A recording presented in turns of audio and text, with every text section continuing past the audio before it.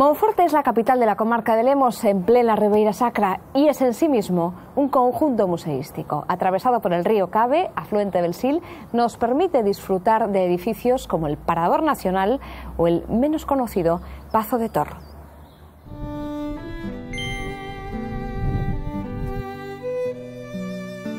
La historia de Monforte está marcada por la religión y la nobleza.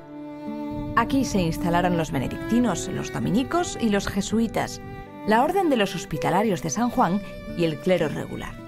Los benedictinos dieron origen al núcleo de Monforte en San Vicente do Pino. Cedieron sus terrenos para la construcción de casas y de esta forma creció la villa. El origen del monasterio es del siglo IX, aunque el edificio actual que le sustituye se construyó en el siglo XVII y conserva estilo neoclásico.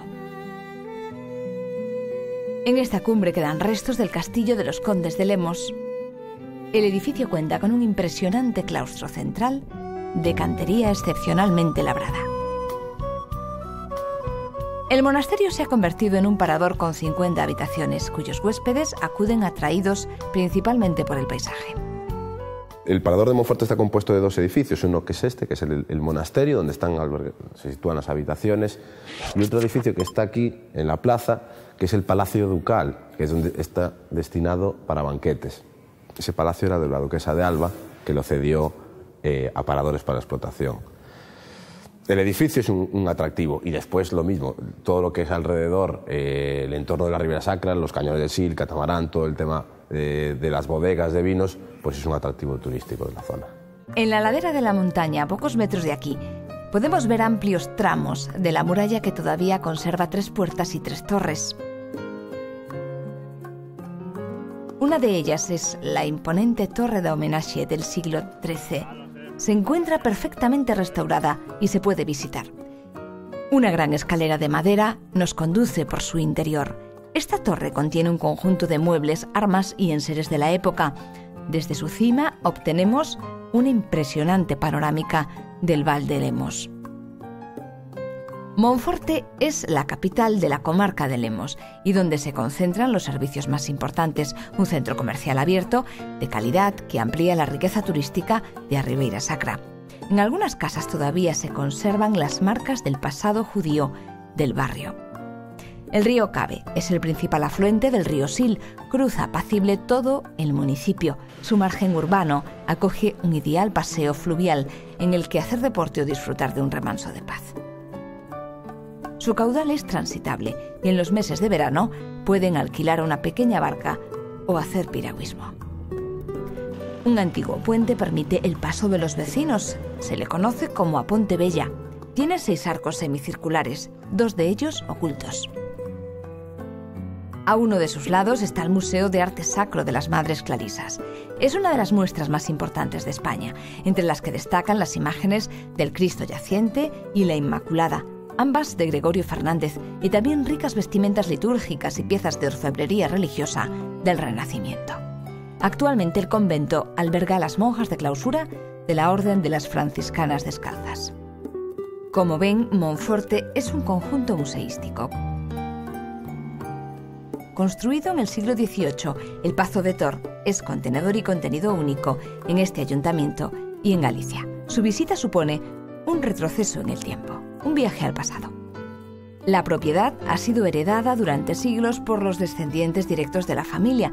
La última propietaria, doña Maripaz Taboada y Zúñiga, que no tenía descendientes, legó esta joya barroca a la Diputación de Lugo. Desde 2006 funciona como museo etnográfico que da testimonio del lujoso modo de vida de la nobleza rural gallega durante la Edad Moderna. Es como un museo de sensaciones, un museo donde nada está encerrado, es decir, la accesibilidad va más allá de que puedas acceder en un ascensor a poder disfrutar de las estancias o que todo esté adaptado y que haya hojas de sala en distintas, en distintas lenguas o en distintos niveles de comprensión. Más allá de eso es que las piezas están al alcance de todos. La planta alta está dividida en 17 estancias compuestas por varias habitaciones, otros tantos salones y una capilla.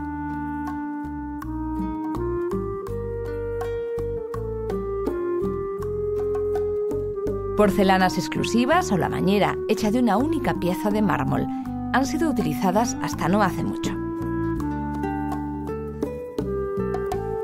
En la sala de música se mantenían numerosas tertulias poéticas y musicales entre los intelectuales de la zona. Se hicieron seis en el mundo, de los que solo se conservan tres. Y uno de ellos es este. Les hablamos de este claviórgano, que se compone de un pianoforte rectangular y un órgano con un único teclado. Se encuentra en el Pazo Monfortino de Tor. El instrumento es de origen inglés de la casa Lockman and Broderick y su fecha gira en torno al siglo XVIII. Hace muy poco aparecía uno de los mapas de Domingo Fontán, geógrafo gallego que en 1817 elaboró el primer mapa físico de nuestra comunidad. Todos estos elementos y algunos más hacen del Pazo de Tor visita obligada, donde el calor y el olor, dicen, todavía permanecen. Los peregrinos también tienen su ruta en esta villa monfortina. El camino de invierno capta a los peregrinos de Ponferrada, principalmente en los meses invernales, que prefieren esquivar las altas cumbres de Ocebreiro.